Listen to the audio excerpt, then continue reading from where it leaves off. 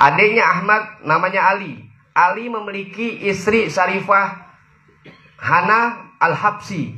Ini nyambungnya jindanya ke, ke Habsi. Ya gimana jadinya? Ya kan? Itu ipar. Nggak masuk ke cicitnya Mbah Priuk. Lagu-laguan ngaku jadi cicit yang Mbah Priuk.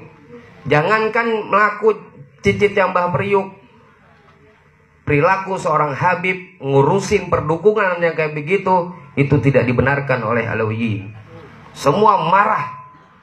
Kami Laskar Alawiyin ditegur sana sini. Apalagi Habib Taufik. Beliau ada di Jakarta. Kalau Laskar Alawiyin tidak bisa menindak nih anak, anak yang akan turun. Assalamualaikum warahmatullahi wabarakatuh.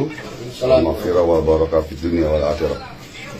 Kepada uh, saudaraku semua, saya Bang Haji Ridwan, Ketua dan pendiri Yayasan Mestam dan Rizky dan pendiri LSM FPAGI Forum Pemburu Ambil Indonesia dan juga tim pemburu hantu.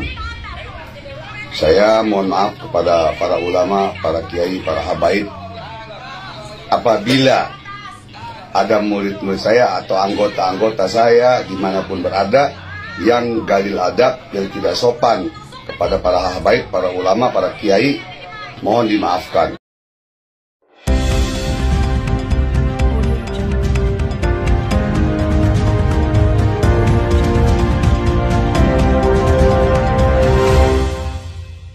Video viral guru Habib Jindan minta maaf ke ulama, kiai dan Habib atas kelakuan muridnya. Habib Jindan belakangan ini banyak menuai kontroversi karena berseteru dengan pesulap merah. Awalnya Habib Jindan bersama Persatuan Dukun se-Indonesia melaporkan Marcel Radival ke pihak polisi karena aksinya membongkar trik perdukunan.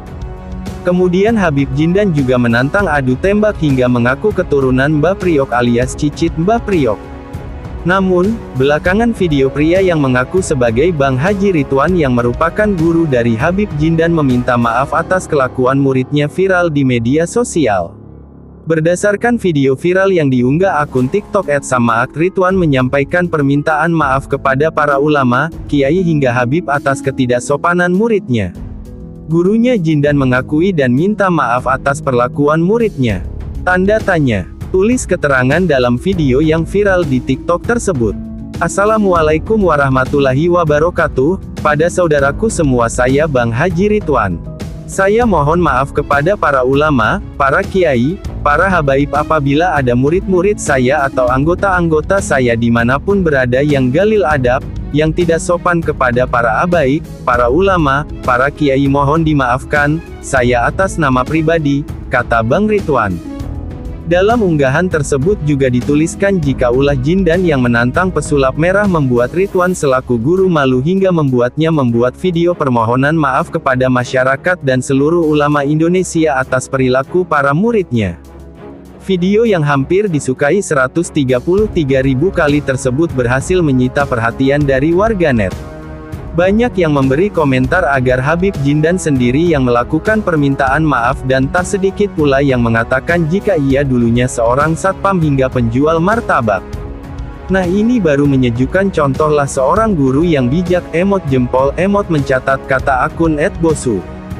Jindan itu orang Tasik mantan satpam lanjut Polsek Sej, ungkap Edmo 99. Jindan suruh minta maaf sendiri pak, timpal netizen lainnya. Dengar, Jindan itu dari Tasik Malaya, apa benar? Soalnya dari netizen lain, Imbu Edmudi. Jidan itu dulu jualan martabak di Tasik Malaya di depan Stadion Pancasila, dulu saya sering beli martabak di Jidan, ujar Akeong 69 Dada.